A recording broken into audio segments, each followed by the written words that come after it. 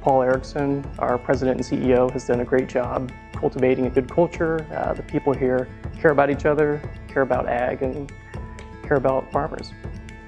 We show up with boots on the ground at the farm and ranch, walking in the farm gate, sitting at the kitchen table, helping to provide solutions to our clients through the financial products that we can offer them.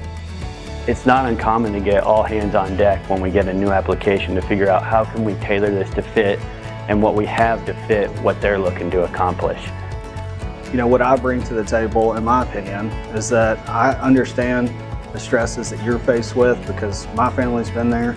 It's not only the financial aspect, but the farming aspect, um, the legal aspects, the appraisal aspects. We have a really well-rounded team here who knows what they're doing